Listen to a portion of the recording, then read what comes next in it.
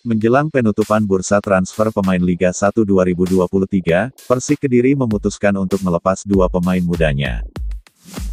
Kapten Bayangkara FC, mengaku respect dan menyukai Persikmania, usai laga melawan Persik. Lantas apa alasannya? Berikut ini ulasannya, setelah yang opening. Salam olahraga, halo Persikmania, kembali lagi di The War Sport Channel. Buat kamu yang suka dengan Persik Kediri, jangan lupa subscribe, like, and share agar kamu tidak ketinggalan berita terbaru seputar Persik Kediri.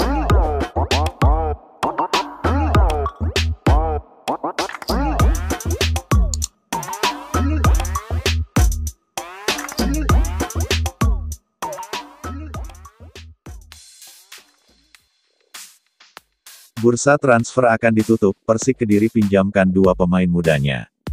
Dilansir dari bola.net, Persik Kediri melepas dua pemain muda mereka, jelang penutupan bursa transfer awal musim BRI Liga 1 2023. Dua pemain yang dilepas Macan Putih, kali ini adalah Bagas Satrio dan Jimmy Aronggear. Bagas dan Jimmy tak dilepas secara permanen. Dua pemain ini dilepas skuad Macan Putih, dengan status pemain pinjaman demi tujuan agar mampu menambah jam terbang, bagi kedua pemain. Bagas Satrio dipinjamkan ke klub tetangga Persik Kediri, yaitu Persidikap Kediri. Putra daerah Kediri kelahiran tanggal 20 Februari tahun 2001 tersebut, diharapkan bisa membantu tim Bleduk Kelut naik kasta ke Liga 2, pada musim ini.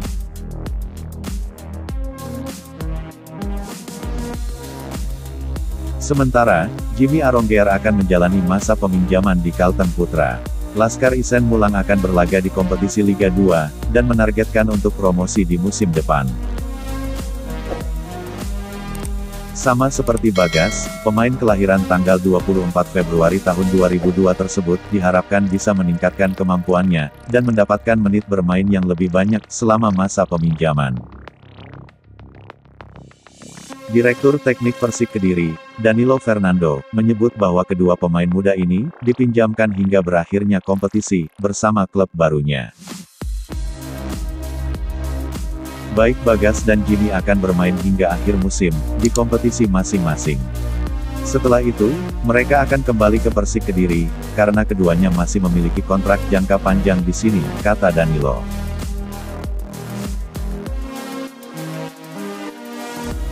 Tak ada hinaan dan rasis, Kapten Bayangkara FC angkat topi buat Persikmania. Dilansir dari suara.com, Back senior sekaligus Kapten Bayangkara FC, Indra Kahvi, mengucapkan terima kasih atas sambutan hangat para supporter Persik Kediri. Ia bahkan angkat topi, lantaran supporter lawan tidak mengeluarkan yel-yel hinaan, hingga rasis kepada timnya. Bayangkara FC bertamu ke markas Persik Kediri, dalam laga pekan kedua BRI Liga 1, di Stadion Brawijaya Kediri. Adapun pertandingan tersebut berakhir imbang dengan skor satu sama. Saya mau menyampaikan terima kasih kepada supporter Kediri, yang sangat baik hati. Tidak ada cen rasis atau apa pun bentuknya, kepada tim kami. Mereka supporter yang berkelas, sekali lagi terima kasih Persik Kediri, kata Indra Kahvi. Sementara mengenai hasil imbang, Beck 35 tahun yang juga anggota kepolisian itu, mengaku bersyukur. Menurutnya, tak mudah memenangi pertandingan di markas lawan. Kami bersyukur karena bertanding di kandang lawan, dan bisa membawa pulang satu poin. Bagi kami sebagai pemain, tentu sangat menguntungkan, tutur Indra Kahvi. Karena kami tahu, Persik Kediri musim ini mempunyai pemain-pemain berkualitas. Kembali lagi saya bersyukur di sini, sambung kakak kandung kiper Persija Jakarta, Andritani Ardiasa itu. Imbang satu sama di markas Persik jadi hasil seri kedua yang dipetik Bayangkara FC, di Liga 1 musim ini. Di pekan pembuka lalu, The Guardian juga bermain imbang dua sama, saat menjamu Persib Bandung.